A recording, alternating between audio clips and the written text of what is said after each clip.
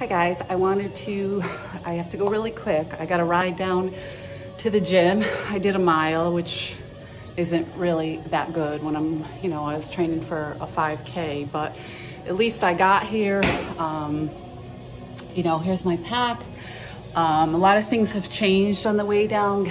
Um, you know, not having a car, gas is very expensive, being way out in the woods. Um, so this is, this, I'm trying to get a good angle here. Um, I don't do the most flattering because I'm usually in a rush here.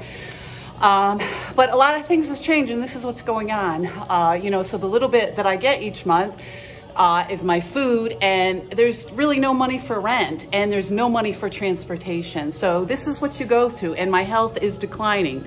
Um, you know, I was in very good shape. I've been through menopause. I mean, I don't want to get into the whole thing. I'm out of breath. I just ran a mile. That was it. I have to hurry up because I want to get to Walmart and be able to get a couple supplies to head back up to Lake. The gal and the guy that are renting to me, um, I guess I'm, I, we worked it out. I'm going to uh, pay for the, the gas to come down to Walmart, get my supplies, and then head back to Lake. And it'll probably only be once a month.